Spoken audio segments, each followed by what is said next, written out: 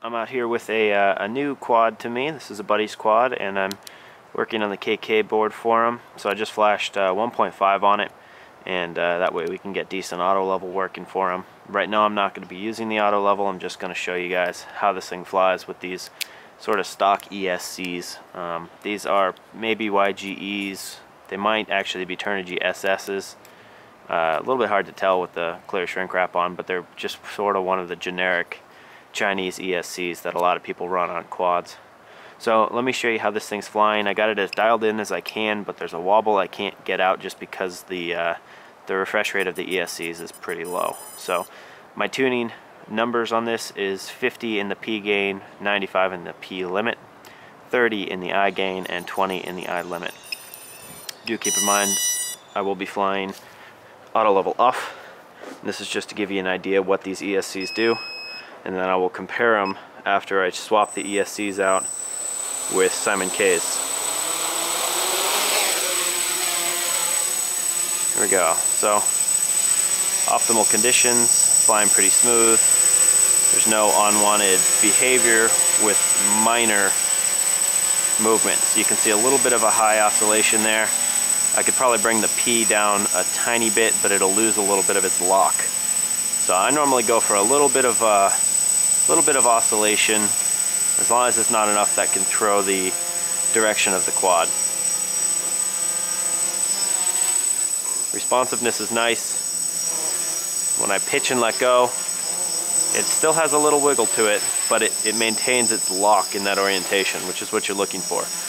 Ideally, you'd see the thing pitch um, and then just lock its position with no wiggle. Some speed controls simply won't allow you to do that. Okay, so here we are, a couple days later. This is exactly the same quad, same motor, same speed control, same battery, same uh, control board, and exactly the same settings. So the PI settings are exactly the same as when I first uh, tuned them for the original ESCs that uh, this was supplied with. So I'm at 50 P gain, 30 I gain. That was about the sweet spot I found with the last ones. The downside was it had a an oscillation, a, a, quick oscillation when I let go of the sticks, which was sort of give or take. You can you can take it out a little bit, but you lose a lot of crispness in the flight, so I kept it in. So this is exactly the same settings, but I do have Simon K flash speed controls.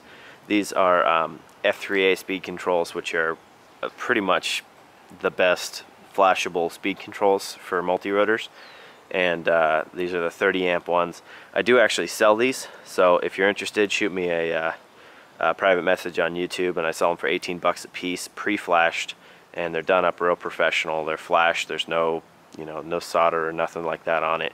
Um, it's shrunk wrap, got the sticker, and it's also in an anti-static bag, so they're about as good as they get. And um, what I'm going to do is show you what the difference is between the Simon K and the standard speed controls in performance. So don't forget, it's uh, auto level off still. And Simon K speed controls versus standards with the same settings, identical settings. Now, there's less drift. It is a smoother flying craft, but the thing that's really notable is there's no,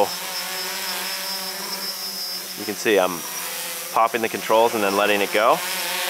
There's no wiggle it just locks. And that's what you want. See the craft doesn't, uh, it doesn't wiggle back and forth, it doesn't slowly come back to center. It just locks in its orientation. So that's just hitting, letting go. Now this is just with the same exact P and I gains.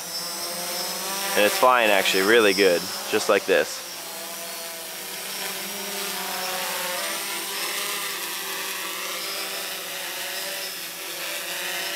Much, much smoother. Now let's see what we can do as far as cranking the gains up. This is where the Simon K stuff really gets good. The Simon K will fly with um, pretty much any gains any other speed control can fly. But the thing that makes it amazing is you can really crank the gains up and get an even more stable craft. So let's see what we need to do here. I'm going to bring the I gain up to try to counteract a little bit more drift. And I'm gonna go up to from about 30 to 60 that's double in the I. And I'm gonna go from 50 to 80 now I'm confident in this only because um, I'm bringing my limit back up to 100 too. Only because I know what the uh, characteristics of the Simon K are. Okay now this is drastically more. The other speed controls would not be able to handle this.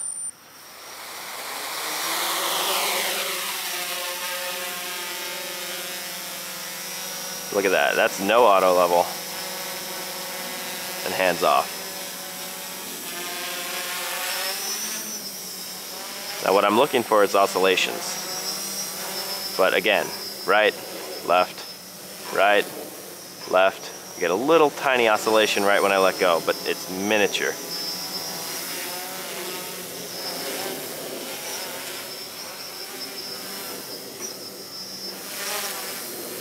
Very crisp. Oh yeah, that's much, much better. Less drift and a much more stable, much better flying craft.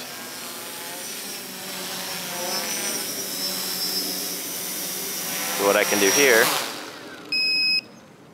continue to bring that up a little. Let's go from 80 to 90, bring the I gain up a little bit more. That may end up coming down again.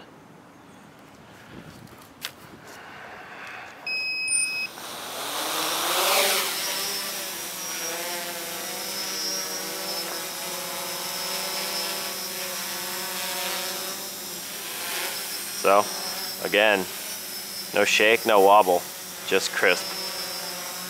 So I'll be able to go ahead and continue tuning this and probably bring the I gain down maybe a little bit and generally you can double the P. So you can almost always double your P gain with Simon K speed controls, which is just really nice. So I hope you guys enjoyed the video.